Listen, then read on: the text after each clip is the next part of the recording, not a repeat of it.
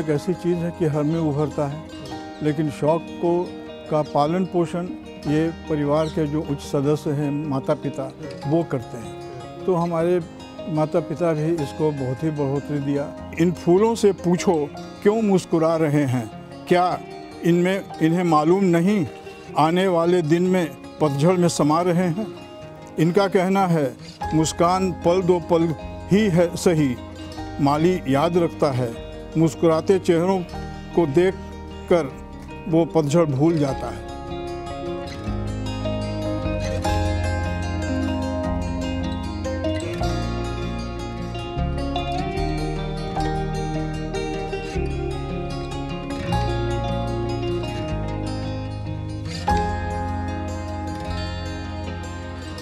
तितर बतर रहा तो उसे खेत कह दो और अगर सजा लिया तो उसे बाग कह लो नमस्कार, मैं हूँ देवांशु। आज हम आपको एक ऐसी मारूफ शख्सियत से मिलवाने जा रहे हैं जिनका नाम है doctor S S Iqbal Hussain. वैसे तो ये पटना ही नहीं, पूरे बिहार के नामी गिनामी डॉक्टर हैं, स्किन स्पेशलिस्ट है, लेकिन इनकी पहचान डॉक्टर से इतर भी है।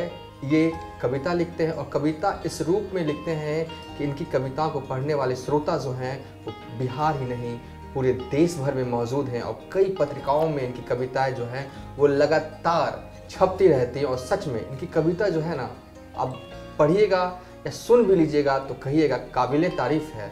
लेकिन इनकी पहचान डॉक्टर और कवि से इतर भी है। एक डॉग लवर है और सबसे बड़ी बात ये एक बागवानी के एक इस तरीके से करते हैं कि अगर आप इनकी बागवानी देख लीजिएगा तो कहिएगा कि इनको बागवानी में महारत हासिल है। तो सबसे पहले आज हम स्वागत करेंगे doctor S S Iqbal Hussain, जिन्होंने अपने ज़िंदगी जो है वो गरीब लोगों की सेवा करते हुए गुजारी है। सेवा इस रूप में कि उपचार करते हैं, बागवानी करते हैं और दूसरों को भी कहते हैं और संदेश देते हैं कि बागवानी करना चाहिए और कविता के माध्यम से अगर आप इनकी कविता सुन लीजिएगा ना तो एक रूहानी सुकून मिलेगा।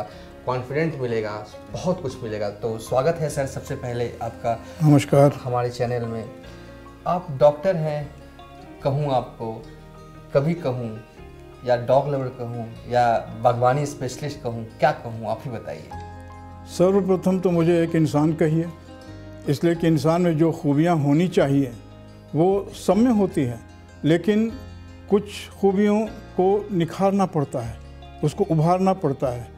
और उभारने के फलस्वरूप जब वो एक अपना प्रत्यक्ष रूप दिखाती है तो लोग उसे कहते हैं कि, डॉक्टर साहब, में कविता लिखने की शैली है। डॉक्टर साहब, कुत्तों से भी प्रेम रखते हैं। डॉक्टर साहब, बागबानी भी करते हैं। कैसे करते हैं? समय तो 24 घंटा ही होता है, जिसमें इनको आराम भी करना है और साथ साथ अपने घर की सजावट, घर की देखरेख, घर की हर कोने कतरे की भी खबर ये रखते हैं। इसलिए इन्होंने अपनी क्लिनिक, अपने घर में स्वयं इन्होंने खोल रखी है। पहले बोरिंग रोड में ये थे, लेकिन वहाँ से आ कर के अब यहाँ अपने क्लिन घर में ही क्लिनिक खोल रखा है हमने। तो अब क्लिनिक अपनी जगह पर बागबानी अपनी जगह पर। तो बागबानी एक ऐसी चीज़ है कि जिसमें आपके पास जो भी समय है, जिसको आप व्यर्थ गंवाते हैं, बैठकर चाय पीकर या बैठकर गप बप करके या बैठकर दूसरों के बारे में सोचकर, उसे हम बर्बाद नहीं करते हैं। मेरा मूल लक्ष्य है कि अगर मेरे पास समय है तो हम उस समय का कुछ सदुपयोग करें। और इससे बड़ा कोई सदुपयोग नहीं लगा कि प्रकृति के नज़दीक जा, नज़दीक जाएँ और प्रकृति से बातचीत करें। प्रकृति एक ऐसी शोभा है कि जिसको समझने के लिए भी एक हृदय चाहिए, लेकिन ये हृदय सभी के पास है। लोग इसका इस्तेमाल नहीं करते हैं। हम उस हृदय को एक काल्पनिक रूप में देखकर कि वो मेरा हृदय है और हम जो उससे पूछेंगे वो जवाब देगा और हम जो उससे कहेंगे वो उस पर सवाल करेगा। तो इसी सोच के साथ चलिए मैं अपने बगिया में ले चलता हूँ आपको और जहाँ आप देखिएगा हाँ। कि कितने तरह के फूल कृत्रिम तरह के फूल और फूलों के साथ साथ उनकी रंगत भी मौजूद है। तो ये बागवानी हमारी आज की नहीं है बहुत शुरू से ही चली आ रही है। और इसके साथ साथ ये जैसे आप यहाँ पर आ गए तो ये तो एंट्रेंस पॉइंट है मेरे घर का। आप देख रहे हैं कि ये एंट्रेंस पॉइंट है। ये से पहला गेट उसके बाद दूसरा गेट तो यहाँ पर आपको फूलों का गुलदस्ता नहीं कहेंगे, बल्कि एक दोनों साइड में ये एक तरह का आमंत्रण है आने वालों को कि आप मेरे घर में आए तो हमें देखते हुए आगे बढ़ें।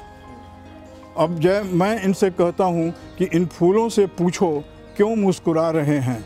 क्या इनमें, इन्हें मालूम नहीं, आने वाले दिन में पतझड़ में समा रहे हैं? इनका कहना है, मुस्कान पल दो पल ही है सही। माली याद रखता है, मुस्कुराते चेहरों को देख कर वो पतझड़ भूल जाता है। तो ये कल्पना मेरी है इन फूलों के लिए, और इन फूलों से अगर आप बात करना चाहें आप समझना चाहें इनकी भाषा तो ऐसी बात नहीं है कि ये सिर्फ़ मेरी ही विरासत है और हम ही इनसे बात कर सकते हैं। नहीं, आप भी चाहें तो कर सकते हैं, लेकिन सबसे बड़ी चीज़ है चाह, चाहना।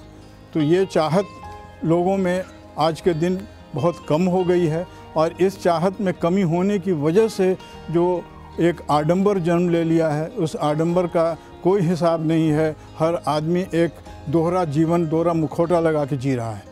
लेकिन इस मुखौटे को उतार के आप देखें कि ये मुखौटा आपका जो है, वो आपकी शख्सियत को, आपकी रचना को कहाँ तक छिपाए हुआ है। आप उस मुखौटे को अलग करके देखें तो आपको पता चलेगा कि नहीं, आप इससे भी अलग हैं जो आईना आपको बताता है।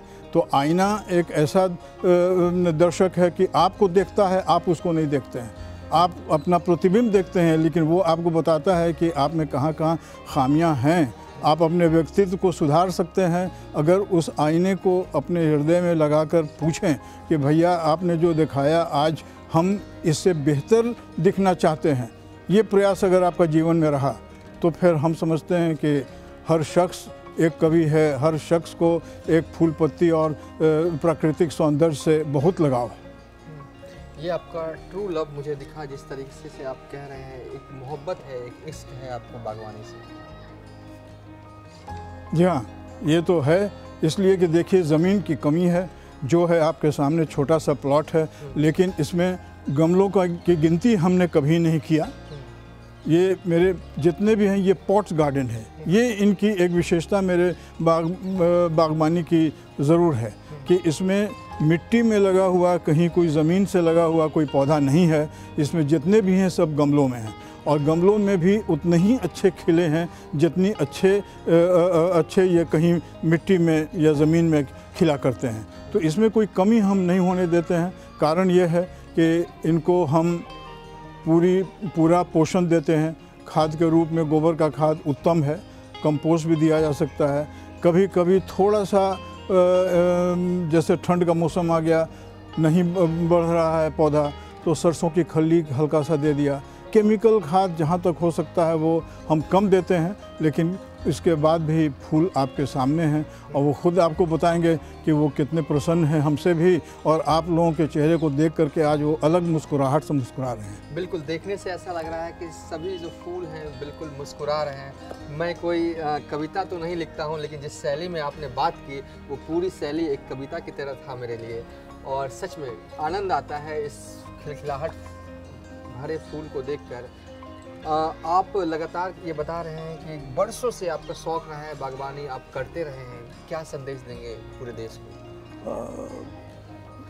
शौक़ तो एक ऐसी चीज़ है कि हर में उभरता है, लेकिन शौक़ को, का पालन पोषण ये परिवार के जो उच्च सदस्य हैं माता पिता वो करते हैं। तो हमारे माता पिता भी इसको बहुत ही बढ़ोतरी दिया और प्रोत्साहित किया हमें। और जगह जगह पर कहीं भी अगर कोई आवश्यकता हमारी हुई इस संबंध में फूल पत्ती का पौधा लाने में तो मैं पटना से निकल करके भी अ, अ, बंगाल दिल्ली सिलीगुड़ी हर जगह घूमता रहता था और जा कर के पौधे ला करके इसको अपने गमले में लगाता था। ये मैं नहीं सोचता था कि पौधा जो मैंने लाया है वो किस हद तक फूल देगा। कर्म करो। कर्म करने के बाद यदि फूल खिल गया तो आपका कर्म सार्थक हुआ। और यदि नहीं खिला तो वो प्रोत्साहित किया कि आगे बढ़ो। आप बागवानी को लगता है एक आध्यात्म की तरह जी रहे हैं अपने जीवन में। इतना लगाव इतना प्रेम कविता भी लिखते हैं इसी पे। जी हाँ बिल्कुल। कविता कविता जो आपके मन में जहन में आ रहा हो इस कुदरत के प्रति है इस नेचर इस प्रकृति के प्रति जो प्रकृति ने आपको दिया है जो हम सब देख रहे हैं ये खिलखिलाहट फूल रंग बिरंगे सबों रंगों में पील पीला हो, लाल हो, बैगनी हो और गुलाब की भी कई वैरायटीज़ आपको इस वक्त स्क्रीन पर नज़र आ रहा है। तो कुल मिला के एस एस इकबाल जो है, वो बिल्कुल गार्डनर ही नहीं, सिर्फ़ बागवानी के शौकीन ही नहीं, इनका जुनून है गार्डनिंग और आप इनके जुनून विजुअल्स के ज़रिए देख रहे हैं, किस तरीके की इंतहा है मतलब सजा दिया है, सिर्फ़ पौधे इन्होंने नहीं लगाया है। किस तरीके के गमले को रखना है एक बिल्कुल अनुशासन जो है वो पूरी तरीके से दिखता है इनकी गार्डनिंग में। गार्डनिंग तो बहुत लोग करते हैं गमले लाते हैं फूल लगाते हैं लेकिन एक अनुशासन दिख रहा है एक डिसिप्लिन दिख रहा है एक आर्मी कहा जाता है कि आर्मी वाली डिसिप्लिन जो है आपकी गार्डन में दिखती है। जी हाँ वो इसलिए कि अगर तितर बतर रहा तो उसे खेत कह दो हाँ। और अगर सजा लिया तो उसे बाग कह लो यही अंतर होता है। तितर बितर को खेत कहते हैं और सजा लिया तो उसे बाग कहते हैं बाग चलिए विजुअल्स के ज़रिए आप अलग अलग पौधे देख रहे हैं और मैं मेरे लिए पॉसिबल नहीं सब पौधों के नाम पूछूँ और ये बताओ कौन कौन से फूल। बस आप विजुअल्स देखिए, आनंद लीजिए और जो बड़ा संदेश, सर दे रहे हैं, उस संदेश को मानिए क्योंकि बागवानी के फ़ायदे जो हैं वो अनंत होते हैं और हम इस वक्त आए हुए हैं पटना के पाटलिपुत्रा कॉलोनी में इनका घर है और इसी घर से ही संचालित करते हैं doctor S S Iqbal ji. और इनके घर पे हम आए हुए थे, गार्डनिंग का वीडियो बना रहे थे और लास्ट कमेंट हम सर से चाहेंगे। सर, क्या कुछ इस वीडियो के आखिरी पड़ाव में कहना चाहेंगे? देखिए, इसके लिए मैं ये कहूँगा कि लोगों का कहना है कि मेरे पास जगह नहीं है। तो अगर कोई मुझे दो चटाई की भी जगह दिखा दे अपने फ्लैट में तो मैं उसमें भी सौ गमलों से उसके जगह को सजा दूँगा। लेकिन ये प्रयास होना चाहिए और ये अंदर से एक इच्छा होनी चाहिए। इस इच्छा के साथ अगर कोई फूल पत्ती का शौकीन है तो हमें याद करें। हम उसके घर पर पहुँच उसे बताएँगे कि आप कैसे कम से कम जगह पर कम से कम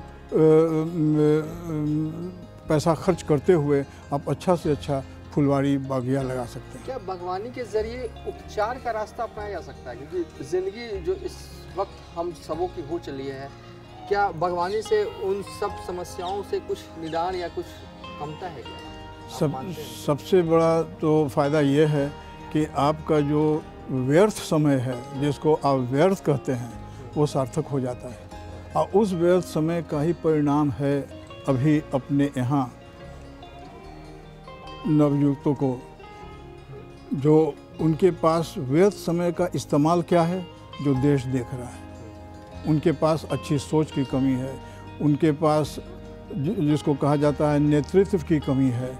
उनको एक सुसज्जित रूप से चैनलाइज नहीं किया जा सकता है। आप कह रहे हैं कि मेरे यहाँ गमले में अनुशासन है। तो इसी गमले को उठा कर आप जहाँ तहाँ रख दें तो वो वैसा ही लगेगा कि जैसे इसका कोई महत्व नहीं। लेकिन अगर आप उसे सजा कर जैसे उदाहरण स्वरूप आप ये देख रहे हैं। ये मेरी दीवारों में गमले जो हैं स्टैंड ठोके हुए हैं। ये कहीं ज़मीन से इनका कोई वास्ता नहीं है। ये दीवारों में ठोके हुए हैं और इनमें इनके फूल को देखिए और इनकी सुसज्जा बिल्कुल। अद्भुत है आपका गार्डन और खासकर फ्लावर गार्डन। और इधर भी आप आके देख लें कि ये तो एक सीधी लकीर है। इधर आए आप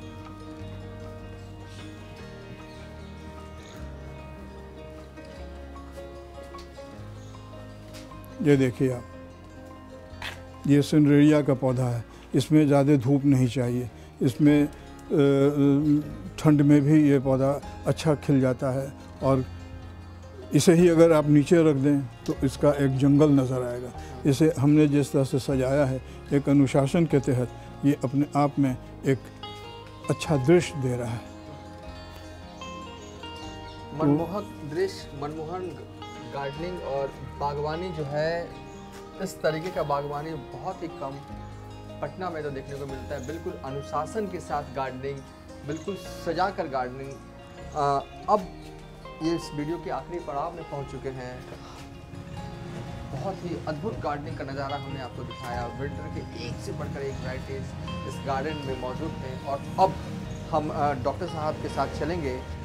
देखिए गार्डनिंग एक ऐसा नशा है, एक ऐसा चस्का है, एक बार लग जाए तो वो छूटता नहीं, बस लगने की देर है। सर कुछ और हमें दिखाना चाहते हैं और देख सकते हैं कि अब हम इनके घर के आगे वाले छोर पे पहुँच रहे हैं। गार्डनिंग का नशा कुछ ऐसा है कि बस लग जाए और लग जाता है तो फिर इसे देखिए ये हमारे बंधा गोभी है। ये घर के हैं और इनमें कोई खाद नहीं आप इनकी खुशी को देख लीजिए कि कितने हँसते हुए हैं और कितनी हरी पत्तियाँ हैं इनकी। और इन्हें जो खाने का लुत्फ होगा जो मज़ा होगा वो आप बाहर से ला करके आपको नहीं मिलेगा। किचन गार्डनिंग भी करते हैं। किचन गार्डन भी है। उसको भी छोड़ दें। चलिए फ़िलहाल इस वीडियो को हम यहीं पर एंड करिए बहुत मज़ा आया इनके गार्डन में आकर घूम कर सब कुछ दिखाने में। एक बार जाते जाते हम आपको फ्लावर के साथ छोड़ दिए जा रहे हैं। कितने खूबसूरत और दिल को सुकून पहुँचाने वाली बागवानी है ये।